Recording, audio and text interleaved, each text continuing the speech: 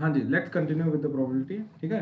तो जो conditional probability देख रहे थे, ये ना इलेवंथ में हमने एक चीज़ देखी थी प्रोबेबिलिटी की that is probability of A union B जो होता है that is probability of A plus probability of B minus probability of A intersection B होता है, ठीक है?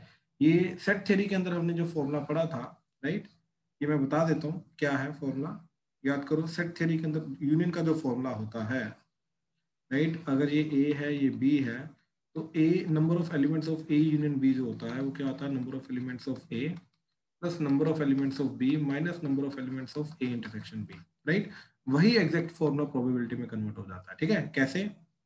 हमने क्या किया? इसको पूरी इक्वेशन को डिवाइड कर दिया। पूरे के पूरे जो सैंपल स्पेस है, इसकी कार्डिनलिटी से। ठीक? तो ये क्या बन जाएगा? ये बन जाएगा probability of A union B right? ये क्या बन जाएगा? प्रोबेबिलिटी ऑफ़ ए ठीक है? ये क्या बन जाएगा? प्रोबेबिलिटी ऑफ़ बी ठीक है? माइनस ये क्या बन जाएगा? Probability of A intersection B right तो इस तरीके से ये फॉर्मूला आता है। अब इस चीज़ को यूज़ किया जाएगा। ठीक है? तो यूनियन का दे रखा है इंटरसेक्शन कैसे निकालना है इंटरसेक्शन का दे रखा है यूनियन वगैरह कैसे निकालना है तो इन चीज़ों को यूज़ करने के काम आता है। ठीक है? जैसे मैं बड़ी सिंपल सी एग्जांपल देता हूँ। ठीक है? तो एग्जांपल देखो जरा। कि वो बोल रहा है कि P ऑफ़ A ठीक है A and B are two events and P of A probability of A is 0.6 probability of B is 0.3 and probability of A intersection B is 0.2. Find probability of A given B plus probability of B given A. ठीक है तो अब ध्यान से एक चीज़ समझो कि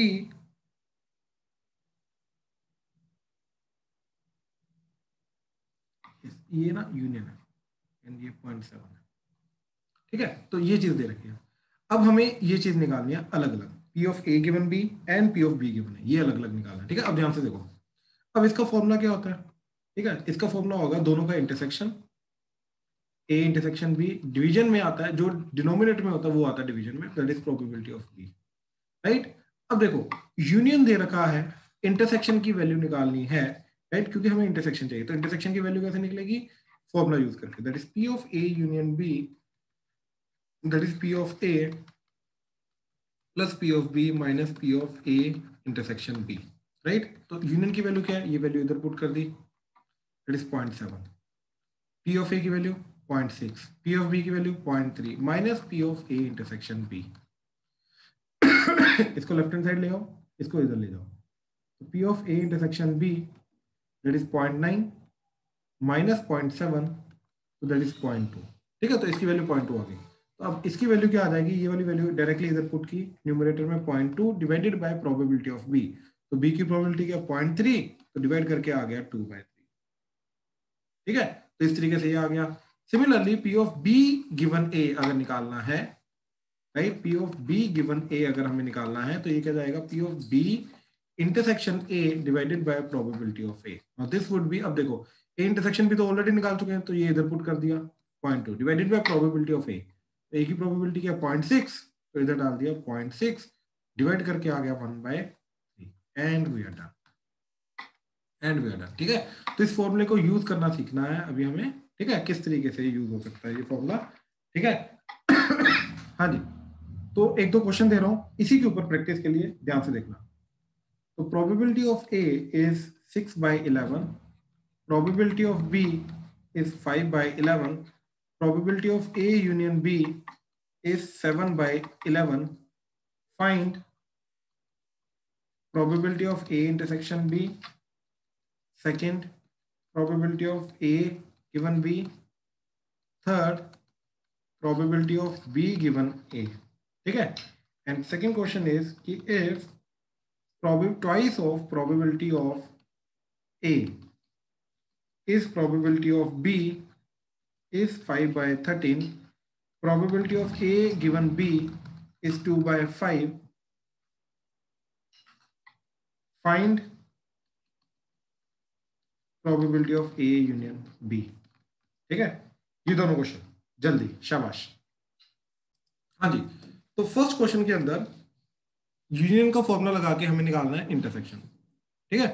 तो P of A intersection B right sorry union A union B is equal to P of A plus P of B minus P of A intersection B तो यूनियन की वैल्यू क्या है? Seven by eleven equal to P of A six by eleven P of B five by eleven minus P of A intersection B ठीक है? तो P of A intersection B क्या जाएगा? Six by eleven plus five by eleven minus seven by eleven तो कितना हो जाएगा? Eleven eleven minus seven ठीक है? That is four four by eleven तो P of A intersection B आ जाएगा फोर बाई इलेवन ठीक है? तो ये तो फ़र्स्ट वाला पार्ट आ गया हमारा। अब निकालना है P of A given B तो जो P of A given B होगा that would be P of A intersection B divided by P of B तो ए इंटरसेक्शन बी क्या रहा? Four by eleven divided by P of B P of B हमें क्या दे रखा है? Five by eleven eleven eleven कटा तो four by five is the answer ऐसे ही P of B given A क्या होगा हमारा? P of B intersection A divided by probability of A so that is four by eleven divided by P of A is six by eleven perfect ठीक है? Six by eleven तो ये eleven eleven कटेगा तो ये आ जाएगा to by three ठीक है? टू कटेगा टू बाय थ्री तो ये तो आ गया फ़र्स्ट क्वेश्चन सेकंड क्वेश्चन भी सिमिलर है राइट तो सेकंड क्वेश्चन के अंदर, देखो। पी ऑफ़ ए दे रखा टू से डिवाइड कर दिया। तो पी ऑफ़ ए जो है, ठीक है? टू से डिवाइड करने पे five by twenty six P of B five by thirteen P of A given B is P of A intersection B divided by P of B तो ए गिवन बी तो two by five दे रखा है हमें right तो ये क्या आ गया? Two by five is equal to A intersection B divided by P of B P of B की वैल्यू फाइव बाय थर्टीन ठीक है? तो ये क्रॉस मल्टीप्लाई हो गया तो two by five into five by thirteen that is P of A intersection P two by thirteen that is P of A intersection P right अब A union B की value निकालनी है। तो P of A union B जो होगा that is P of A plus P of B minus P of A intersection B ठीक है? तो पी ऑफ़ ए की value five by twenty six P of B की value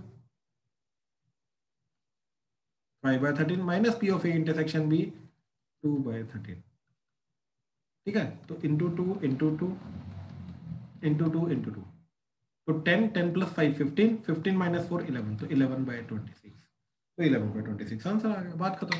ठीक है? हाँ जी, इन दोनों क्वेश्चन में किसी को डाउट है तो बताओ। नेक्स्ट पार्ट हम शुरू करने वाले हैं। ठीक है? दोनों क्वेश्चन में कहीं पे कोई भी डाउट है तो प्लीज़ बताओ। चलो। गुड आगे देखो जरा। अब आ रहा है नेक्स्ट पार्ट ये सेकंड पार्ट है ठीक है पूरा प्रोबेबिलिटी का फ़र्स्ट पार्ट था कंडीशनल प्रोबेबिलिटी ठीक है? तो कंडीशनल प्रोबेबिलिटी में हमने अगेन क्या देखा था? हाँ जी।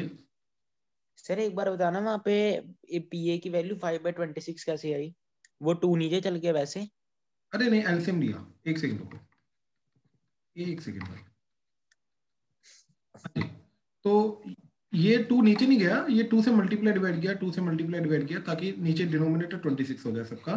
तो फिर इन दोनों को ऐड किया सी सब्ट्रैक्ट किया तो इलेवन बाई ट्वेंटी सिक्स नहीं सर मैं ऊपर कह रहा हूँ कि जो वैल्यू दी है five by two P A की वैल्यू दी है फाइव बाई थर्टीन तो टू उधर चल गया। नीचे चल गया फाइव बाई ट्वेंटी सिक्स होगी। हाँ बिल्कुल। ठीक है ना? यस सर हाँ। इनके अंदर तो बस वैल्यू पुट की है ना मैंने इसकी वैल्यू पुट की इसकी वैल्यू पुट की इसकी वैल्यू पुट की तो ये पी ए यूनियन बी आ गया। बात खत्म। यस सर ठीक है ना? ठीक। है चलो अब आगे देखो। कंडीशनल प्रोबेबिलिटी के अंदर हमने ये चीज़ देखी थी। ठीक है? ये आई कहाँ से इसका रीजन देख लो जरा। ठीक है? बहुत सिंपल सा रीजन है। ध्यान से देखना।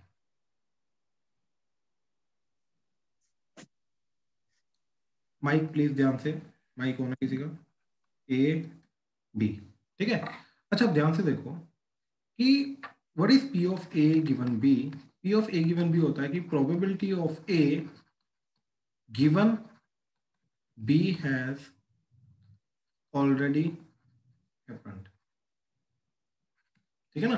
तो बी ऑलरेडी हो चुका है। अब यार एक चीज़ समझो, अगर बी ऑलरेडी हो चुका है राइट तो अब जो भी आउटपुट आएगा, वो बी में से ही आएगा यार ऑब्वियसली क्योंकि बी हो चुका है राइट right? तो अब जो, जिस सेट में से आउटपुट आता है, उसको सैंपल स्पेस बोलते हैं।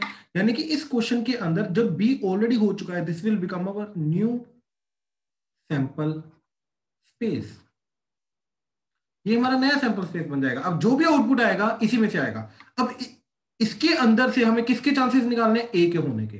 अब इसके अंदर ए आ रहा है, ये वाला पार्ट तो इसके होने के चांसेस निकालने, यानी कि ये फेवरेबल केस बन जाएगा एंड ये टोटल बन जाएगा हमारा टोटल केसेस तो क्या प्रोबेबिलिटी आ जाएगी? Number of elements of A intersection B ये वाला पार्ट इन दोनों का इंटरसेक्शन डिवाइडेड बाय ये टोटल ये तो बी है that is N of B ठीक है? Favourable cases divided by total number of cases अब इसको पूरी की पूरी कार्डिनलिटी से डिवाइड कर दिया ऊपर नीचे तो N of A union B sorry intersection B divided by N of S sample space divided by N of B divided by N of sample space तो क्या बन गया ये? That is nothing but N of A sorry P of A intersection B divided by P of B इस तरीके से हमारे पास P of A given B का फॉर्मूला जनरेट होके आता है। ठीक है? ध्यान से, दोबारा समझो इस चीज़ को। देखो P of A given B का मतलब क्या है कि भाई बी ऑलरेडी हो चुका है।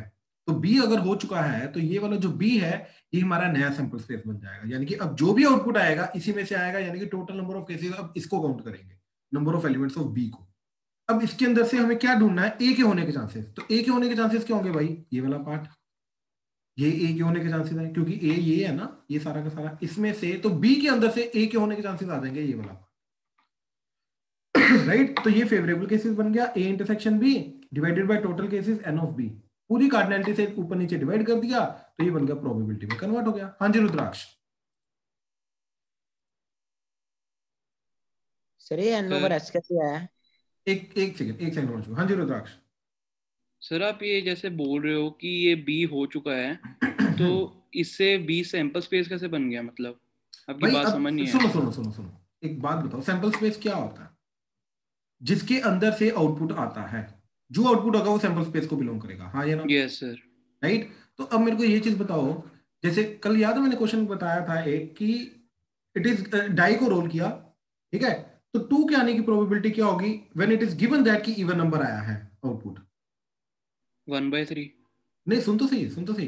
ये क्वेश्चन याद है याद है ये क्वेश्चन यस सर राइट अब मेरे को ये चीज़ बताओ गिवन क्या है कि इवन नंबर आया है? यानी कि जो भी एक्चुअल आउटपुट आएगा वो इवन नंबर में से ही आएगा। यस सर राइट बाकी भी नंबर है वन थ्री एंड फाइव और नंबर वो कभी आउटपुट नहीं आ सकते हो क्यों? क्योंकि इट इज़ गिवन दैट कि जो इवन नंबर आया है वो इवन नंबर जो आउटपुट आया है वो इवन नंबर है।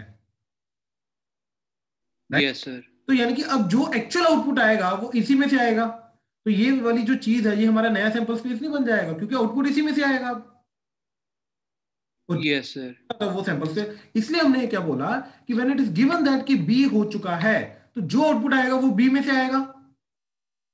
यस सर बी में से आएगा। इसलिए बी को हम हमने बोला इस क्वेश्चन में इस टाइप के क्वेश्चन में वो एक नया सैंपल स्पेस बन जाएगा।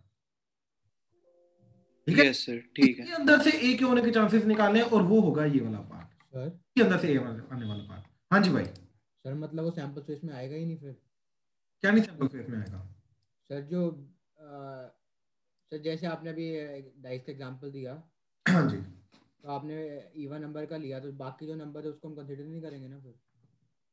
भाई देखो दो तरीके होते हैं इसको सोचने के। एक होता है कि जिसके अंदर मैं पूरा का पूरा क्वेश्चन के अंदर डाई को लेके जा रहा हूँ। One two three four five six right अब इसके अंदर से जब मैं इस क्वेश्चन को करने की कोशिश करूँगा राइट तो probability of A intersection B divided by probability of B लगाऊँगा तो क्या आ जाएगा? नंबर टू आने के चांसेस एंड इवन नंबर आने के चांसेस तो इसको प्रोबेबिलिटी वन बाय सिक्स लेके जाऊँगा ना? यस सर सिक्स लगा रहा हूँ तो इसका मतलब मैं टोटल को लेके जा रहा हूँ ना? तो वन थ्री एंड फाइव को इग्नोर मार रहा हूँ। हाँ या ना? यस सर तो मैं टोटल के अंदर से देख रहा हूँ कि यस इसके आने के चांसेस क्या है इसके आने के चांसेस क्या है क्योंकि फॉर्मूला मैंने ऑलरेडी डेवलप कर दिया। एंड फॉर्मूला जो बनेगा ये टोटल सैंपल स्पेस के अकॉर्डिंगली बना है। बात समझे?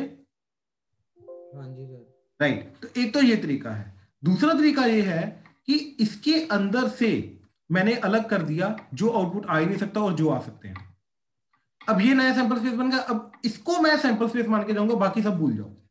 ठीक है सर ठीक है. अब इसके अंदर से टू आने के चांसेस क्या वन बाय थ्री इससे थ्री आया राइट लेकिन हम स्कूल में जो चलेंगे या बोर्ड में जो चलेंगे वो इससे चलेंगे इससे नहीं चलेंगे. ये समझाने के लिए तुम्हें. ठीक है सर पक्का? क्लियर हुआ? हाँ जी सर गुड फिर इसका ऊपर वाले टॉपिक जो भी आपने करवाया उसके साथ क्या रेलेवेंस था? भाई इसकी डेफिनेशन है ना ये कहाँ से आया इसका फॉर्मूला मैं ये बता रहा हूँ ना. P of A given B का फॉर्मूला ये जो आया ये कहाँ से आया फॉर्मूला ये बताया ना मैंने. ठीक है सर। सर है ना हाँ जी भाई अब बोलो। Sir N A intersection B आपने लिखा डिवाइडेड बाय सैंपल स्पेस फिर set B divided by sample space sir पर हमने कहा सेट बी यहाँ पे सैंपल स्पेस नहीं है। नहीं नहीं सैंपल स्पेस का मतलब ये टोटल टोटल चीज़ का मैं इस टोटल की बात कर रहा हूँ। सर पर हमने तो सिर्फ़ वही वाली निकालनी है ना प्रोबेबिलिटी जो हो चुकी हो चुकी है दूसरी वाली निकाल लेंगे उसकी। इंटरसेक्शन निकाल। मैं वही बोल रहा हूँ कि जब मैं इसकी प्रोबेबिलिटी निकालूँगा इसकी प्रोबेबिलिटी जो जो होगी वो तो पूरी के अकॉर्डिंगली आएगी ना। बी के अकॉर्डिंग नहीं आएगी सर नहीं बी के अकॉर्डिंग ऐसे तो बी की प्रोबेबिलिटी बी के अकॉर्डिंगली वन हो जाएगी। तो डिनोमिनेटर में हमेशा वन थोड़ा ना आएगा वो तो बी के होने की प्रोबेबिलिटी आएगी ना। क्योंकि अब मैं टोटल क्वेश्चन के अकॉर्डिंगली देख रहा हूँ। बी के अकॉर्डिंगली नहीं देख रहा। यहाँ पे मैं बी के अकॉर्डिंगली नहीं देख रहा हूँ मैं। टोटल के अकॉर्डिंगली देख रहा हूँ। ठीक है? अब देखो आगे। यस सर सर हाँ जी भाई। सर हम सैंपल स्पेस में बी को कंसिडर कर रहे थे ना पूरा। भाई देखो एक टोटल सैंपल स्पेस है हमारा। कंफ्यूज मत करो। एक टोटल सैंपल स्पेस है। इसके अंदर क्वेश्चन के अकॉर्डिंगली जो गिवन चीज़ है ऐसा नहीं है कि भाई ये पूरा सैंपल स्पेस खत्म हो जाएगा और ये नया सैंपल स्पेस बन जाएगा। ऐसा नहीं है। क्वेश्चन के अकॉर्डिंगली हमने अपना सैंपल स्पेस चेंज किया। इसका मतलब ये नहीं कि ये वाला सैंपल स्पेस खत्म हो गया। एक नया सैंपल स्पेस बन गया। ध्यान से देखो मैंने क्या बोला इधर? न्यू सैंपल स्पेस मैंने ये नहीं बोला कि पुराना वाला सैंपल स्पेस खत्म हो गया। Yes sir new sample space हमने बी किया ना कंसिडर हाँ ये सिर्फ़ इस कंडीशन के क्वेश्चन के कंडीशन के अकॉर्डिंगली चेंज हुआ। लेकिन कोई और क्वेश्चन आएगा तो इसका मतलब ये नहीं कि इसको भूल जाएँगे हम। इसको याद रखेंगे। उसी के अकॉर्डिंगली चलेगा मेन ओके सर ठीक है? अब आगे देखो जरा। Now is multiplication theorem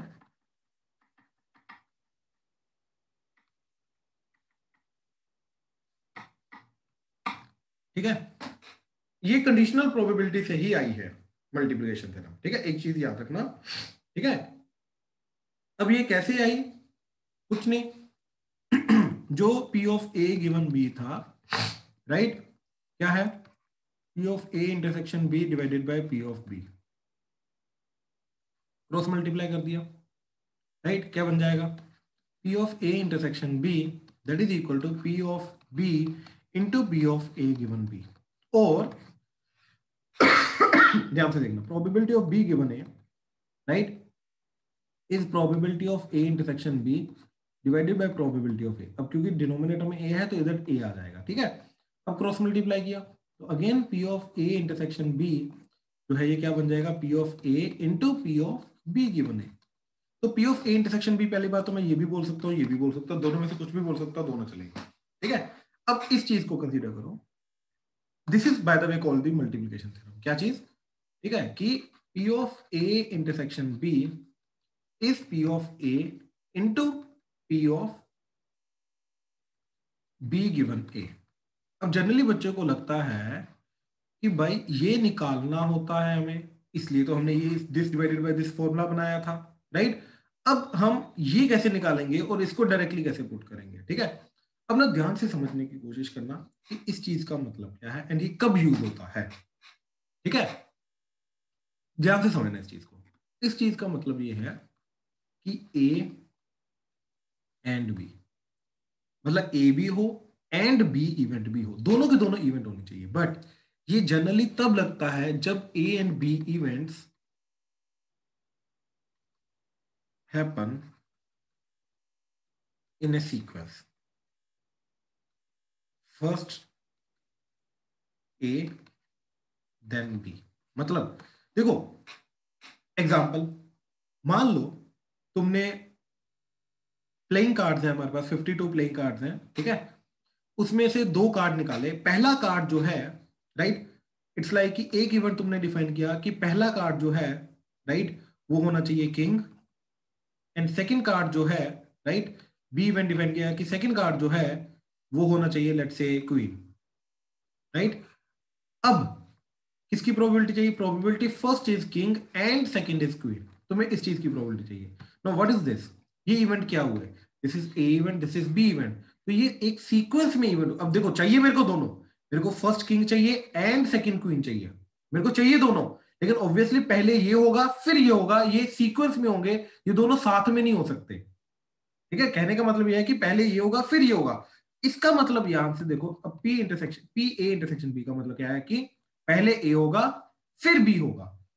and दोनों के दोनों होने चाहिए। इस चीज़ की प्रोबेबिलिटी क्या आएगी?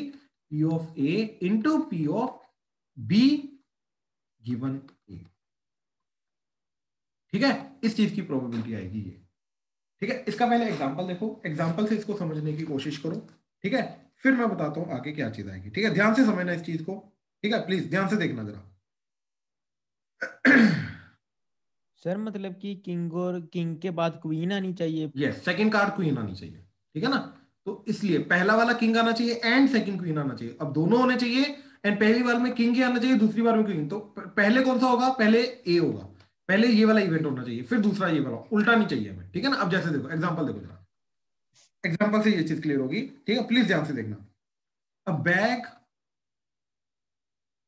contains 10 white and 15 black balls, ठीक है?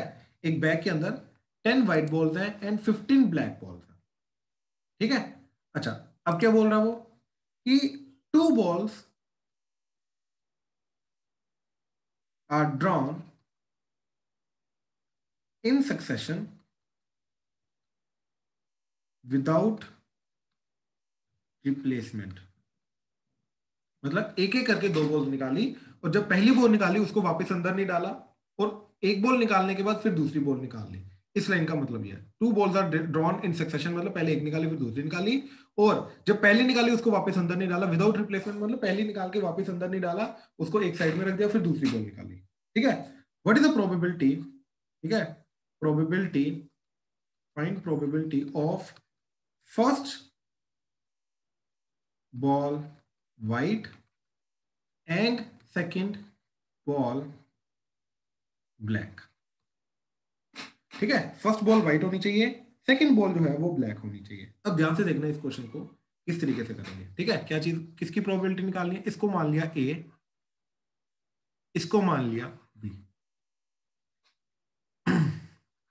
तो हमें निकालना P of A intersection B यानी कि हमें निकालना probability first white and second black तो यानी कि पहले हमें, पहली बॉल व्हाइट चाहिए, दूसरी बॉल ब्लैक चाहिए एंड दोनों साथ में चाहिए। मतलब दोनों के दोनों होने चाहिए राइट तो क्या प्रोबेबिलिटी आ जाएगी? Probability of A intersection B ये आ जाएगा probability of A into probability of B given A that means क्या चीज़ आ जाएगी?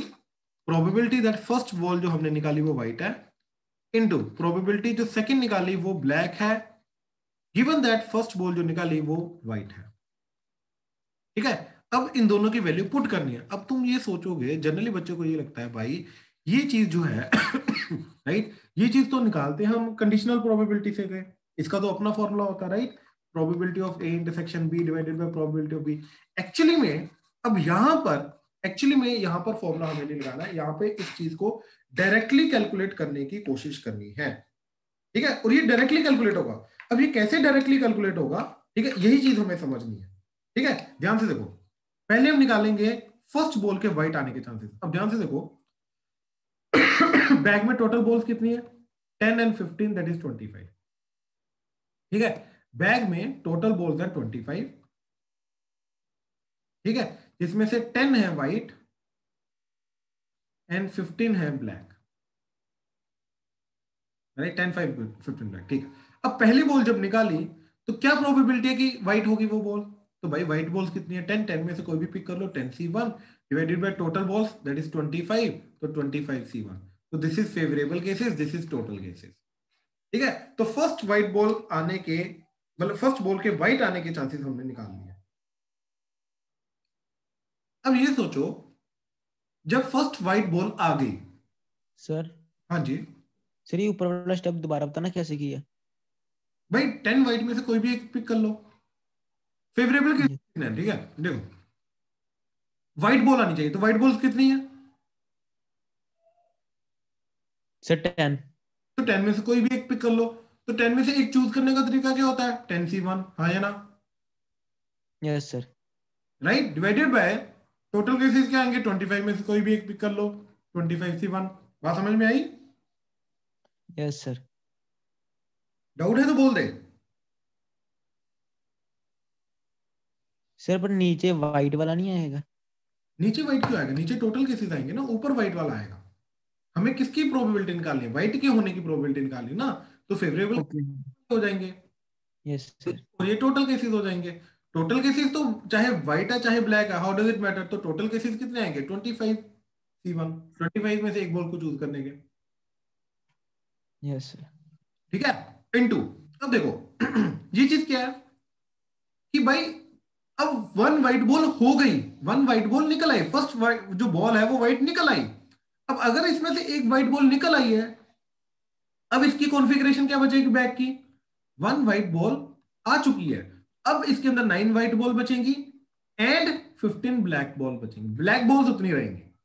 तो यानी कि अब वन व्हाइट बॉल हो जाने के बाद ये कॉन्फ़िगरेशन आ गई। अब इसके अंदर से सेकंड बॉल क्या आनी चाहिए? ब्लैक तो सेकंड बॉल के ब्लैक आने के चांसेस क्या है? 15c1 डिवाइडेड बाय 24c1 तो ये जो प्रोबेबिलिटी है, अब ये आई। कंडीशनल प्रोबेबिलिटी हमने डायरेक्ट निकालने की कोशिश की। कैसे? यहाँ पे यही चीज़ समझनी है।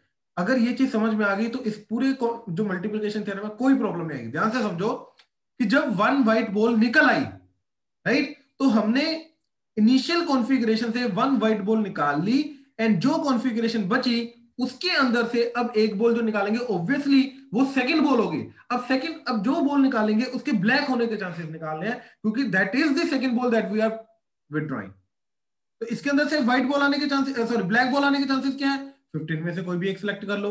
और टोटल केसेस कितना 24 राइट 9 एंड 15 24 क्योंकि एक ऑलरेडी निकल चुकी है फ़र्स्ट टाइम तो 24 C1 ये हमारे आंसर आ जाएगा। तो ये क्या आ जाएगा? 10 divided by 25 into 15 divided by 24 इसका जो भी आंसर आ रहा है राइट क्या आ रहा है? Five two the five five the three eight the three five the five five कटा तो दैट इज़ वन इसका आंसर आ गया वन बाय फोर इस तरीके से।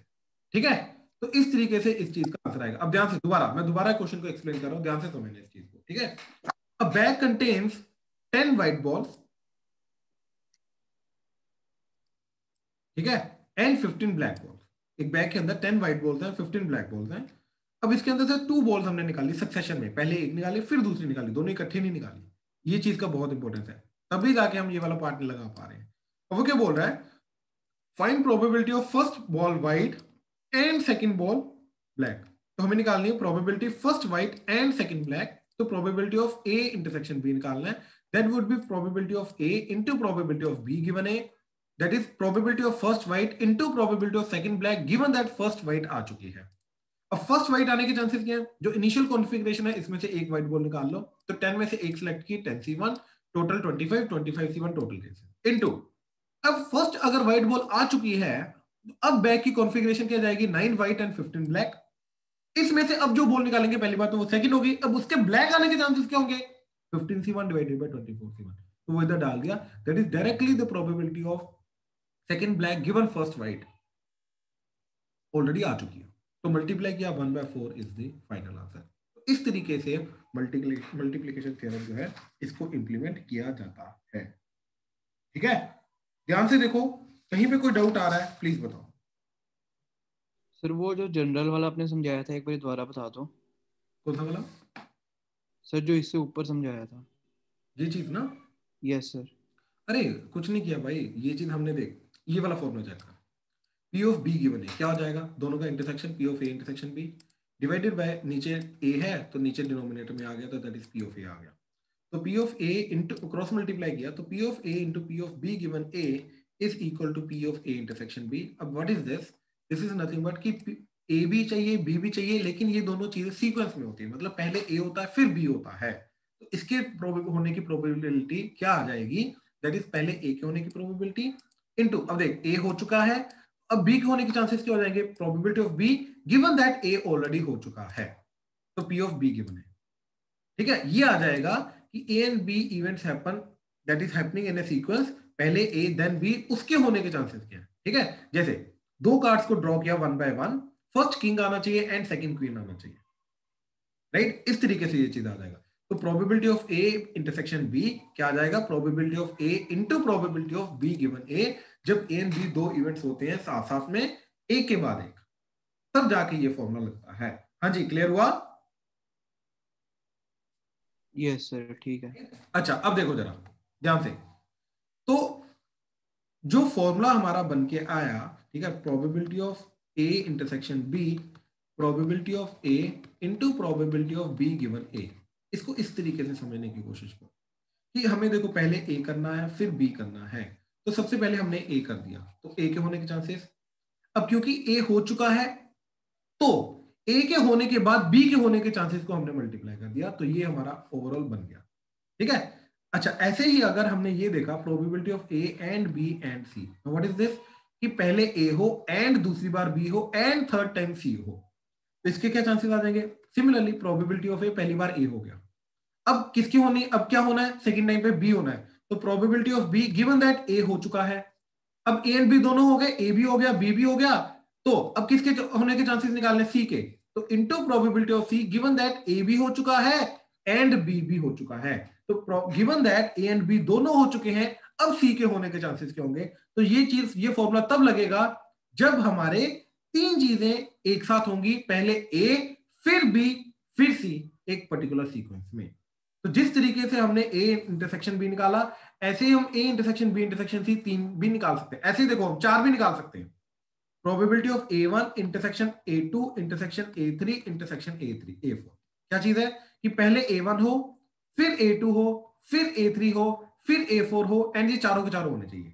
तो सिमिलरली सबसे पहले ए वन हुआ इनटू फिर ए टू होना चाहिए तो probability of A two given that A one हो चुका है, अब ए वन ए टू दोनों हो चुके हैं तो probability of A three given that A one and A two दोनों हो चुके हैं राइट अब A one A two A three दोनों तीनों हो चुके हैं तो किसकी probability probability of A four given that A one and A two and A three तीनों हो चुके हैं। तो दिस इज़ द फाइनल इस तरीके से चार के भी नियम निकाल सकते हैं।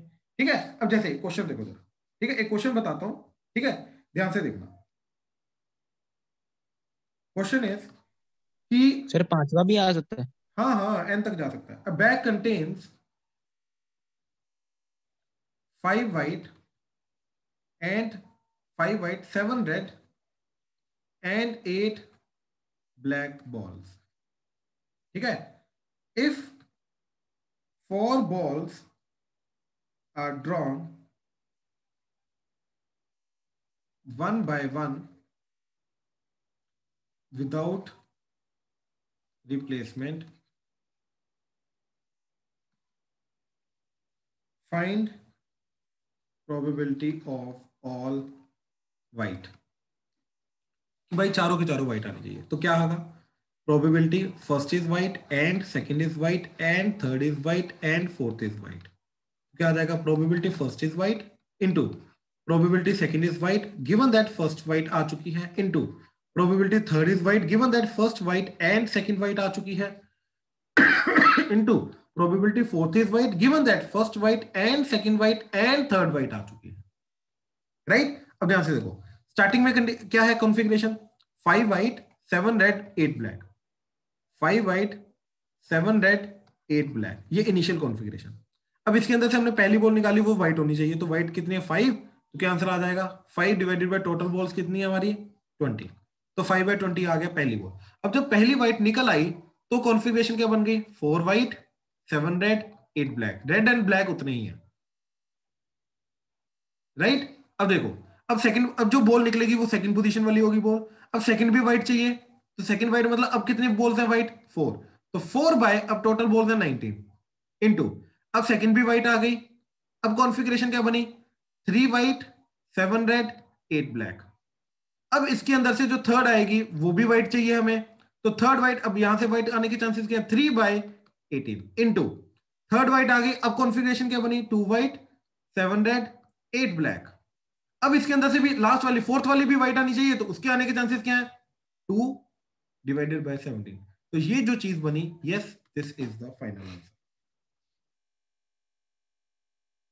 हाँ जी प्लीज़ कंफर्म करो क्लियर हुआ? क्लियर हुआ ये चीज़? सर एक बार फॉर्मूले पे स्क्रॉल करना वो हाँ ऊपर ए वन वाले। ये।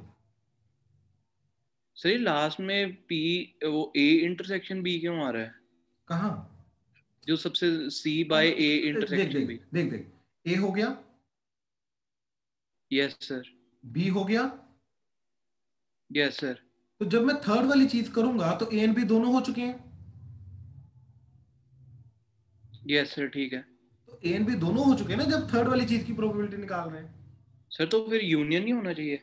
यूनियन नहीं इंटरसेक्शन ए भी हो चुका है एंड बी भी हो चुका है दोनों हो चुके हैं। एंड सर अगर जैसे अगर हम सुन सुन सुन ए सुन सुन नहीं नहीं नहीं नहीं सुन सुन सुन पहले समझ। ए भी हो चुका है? यस सर ठीक है। हो चुका है। ऐसा नहीं है कि या तो ए हुआ या तो बी हुआ ऐसा नहीं है। भाई ए भी हुआ है एंड बी भी हुआ है। ऑब्वियसली इंटरसेक्शन आएगा। इंटरसेक्शन का मतलब क्या होता है? एंड बात समझो।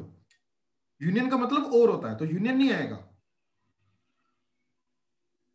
राइट ठीक है ठीक है। राइट चलो अब मैं एक क्वेश्चन दे रहा हूँ करने के लिए ध्यान से देखना।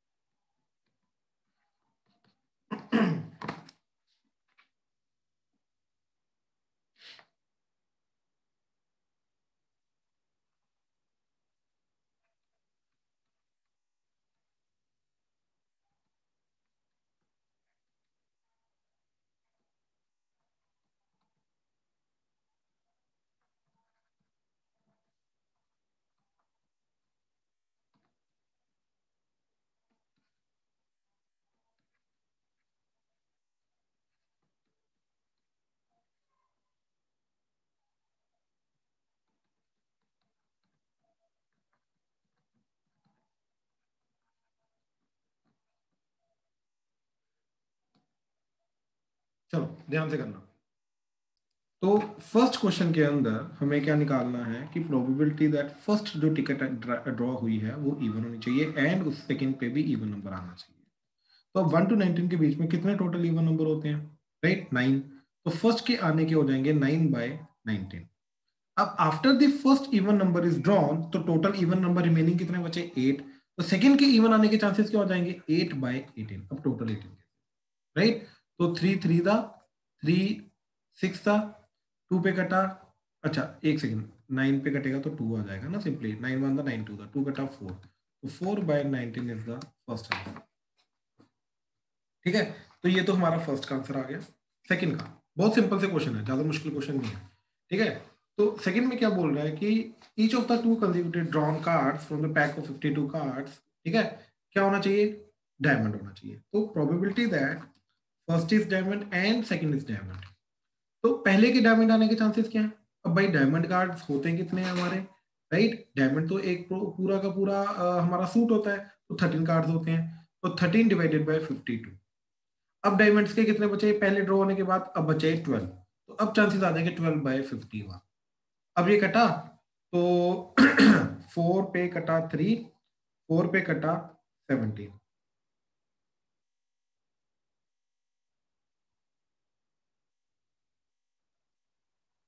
सॉरी फोर पे कटा सेवनटीन नहीं। फोर पे कटा थर्टीन थर्टीन थर्टीन कटा।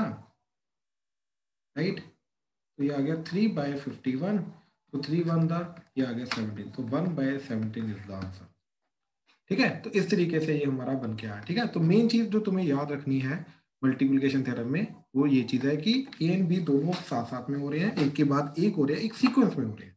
राइट देन उनके होने के चांसेस क्या होंगे? ठीक है? चलो। आज का यहीं पे खत्म करते हैं ठीक है? Will continue tomorrow